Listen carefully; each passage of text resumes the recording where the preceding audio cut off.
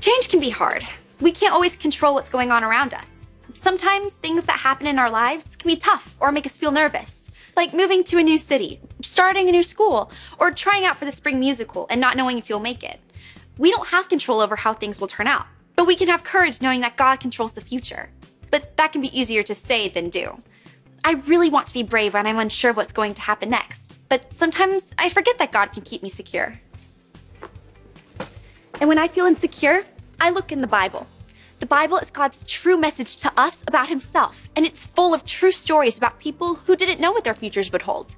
Let's read what happened in chapter 16 of the book of Acts. There are two men stuck in a situation that they never could have gotten out of by themselves. They had no idea if they would even have a future, but they chose to react in a way you might not expect. Let's read it together.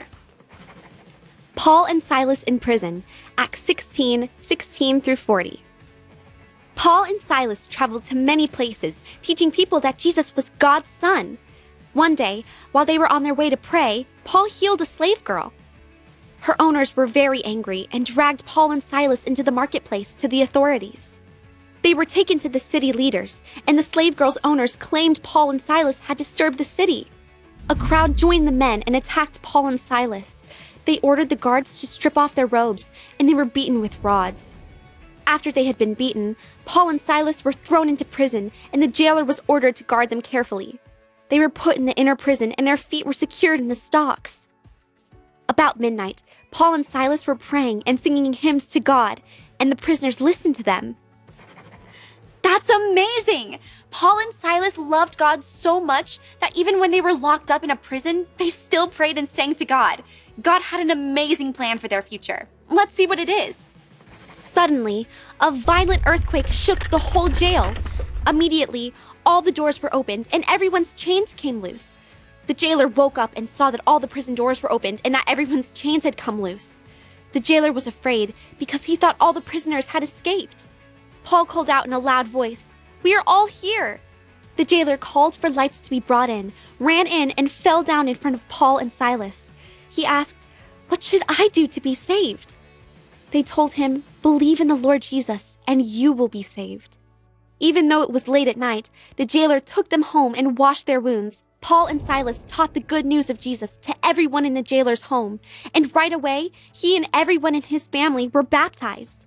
The jailer gave food to Paul and Silas, and he celebrated because he had come to believe in God with his entire family. This true story of Paul and Silas can give us hope even when Paul and Silas were in the worst place possible and completely uncertain about their future, they chose to trust God by talking to Him and singing songs to Him. And in the middle of their scary, unknown future, God was there. He had a plan for them and even used their lives to help other people see how powerful He is. When I see how God was with Paul and Silas, I know that I can trust Him when my future seems out of control. God knows where we are, where we've been, and where we're going, and He loves to use our lives to help other people get to know Him. Your future is secure when you follow God because He made a way for you to spend forever with Him in heaven. God sent His Son, Jesus, to take the punishment that you deserve for your sin. Sin is when you choose to do what you think is best instead of what God says is best.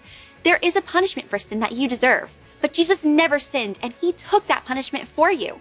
And when you tell God that you are sorry for choosing your way instead of His way and that you want to follow Him, He secures your future. God is unshakable.